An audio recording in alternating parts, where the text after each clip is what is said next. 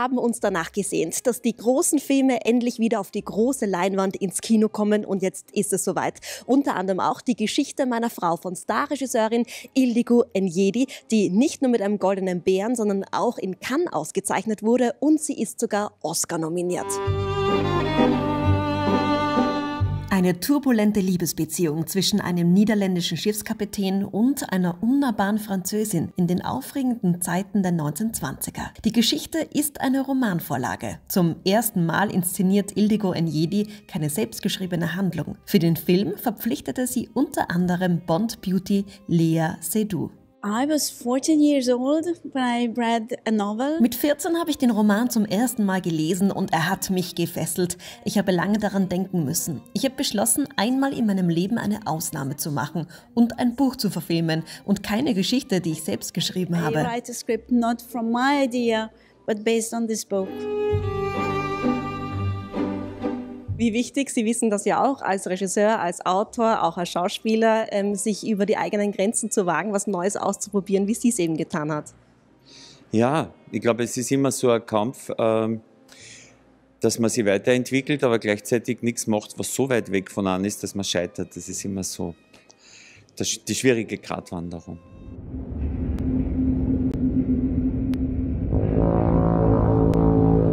Ich stelle mir vor, ich wäre schon tot. Aber bevor ich sterbe, lebe ich noch ein letztes Mal auf und laufe davon.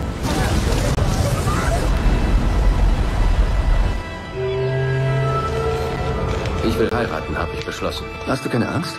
Ich könnte zum Beispiel die erste Frau heiraten, die zur Tür hereinkommt.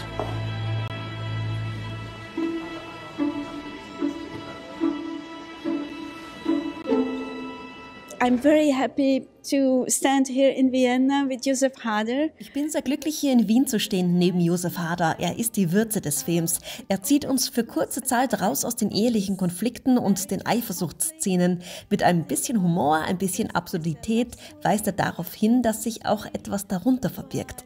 Es ist großartig, dass er die Rolle angenommen hat. Bei kurzen Auftritten braucht man einen Schauspieler, der eine starke, bedeutungsvolle Präsenz hat. To have someone really meaningful, really great really strong. Was hat Sie in dieser Rolle angesprungen?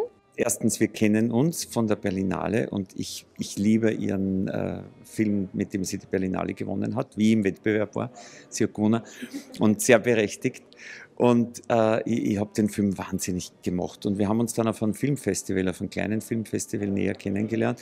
Und dann hat sie gesagt, sie hätte eine äh, kleine, aber wichtige Rolle in ihrem neuen Film. Und ich habe gesagt, wenn es irgendwie geht, dass ich das Gefühl habe, ich schaffe das, dann mache ich es halt, mache ich es gern. Irgendwie schwieriger, weil, weil man hat nicht so viele Szenen und ähm, man möchte dann doch das Wesentliche dieser Figur irgendwie in diesen wenigen Szenen hinkriegen. Es war eine neue Herausforderung. Ich spiele selten kleine Rollen und es, äh, ja, es ist nicht so einfach, genau. Kritiker loben übrigens die Darstellung der 20er Jahre, ohne zu viel Kitsch, ohne Stereotypen und ohne zu viel Nostalgie. Es ist immer so, dass das Kostüm äh, großen Einfluss hat auf die Rolle. In dem Moment, wo man äh, was anhat aus einer anderen Zeit, äh, geht es dann leichter damit und man weiß leichter, wie man sich bewegen soll.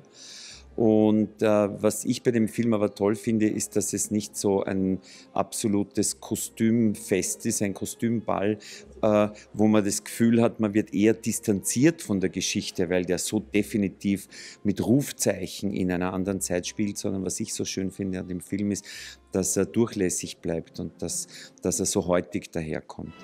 Stell dir vor, ich habe jemanden kennengelernt. Er hat blaue Augen, breite Schultern. Er hat dieses gewisse Etwas. Endlich habe ich die Chance, den alten Seebären kennenzulernen. Ich habe nicht mehr von einem Seebären wie Sie von einer Wanderratte.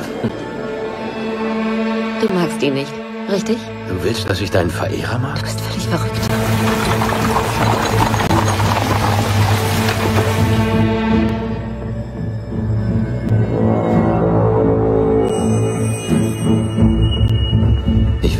gern wissen, was sie den ganzen Tag tut. Und sie wollen es wirklich wissen. Manchmal weiß man es besser nicht.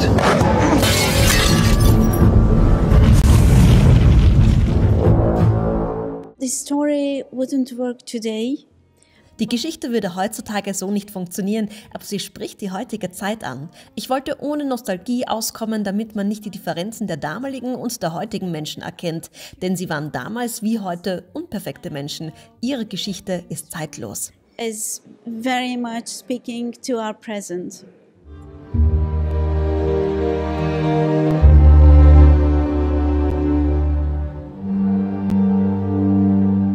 Ich bleibe bei dir. Gut, wenn du meinst.